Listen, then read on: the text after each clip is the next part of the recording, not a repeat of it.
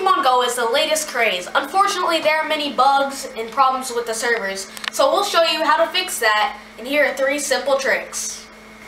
The first step to this process is opening up Google Maps. You can download it from the Apple Store.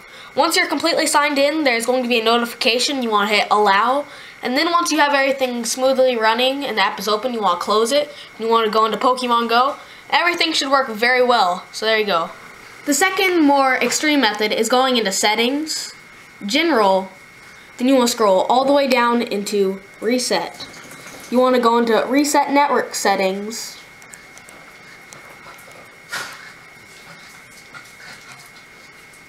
There you go. It's going to reset, but after that, it should run very smoothly with Pokemon because you Go. just reminded me that we have to put in our network password after you reset. The reset. final resort is to power off your device and turn it back on. Hope these tips helped. Happy hunting!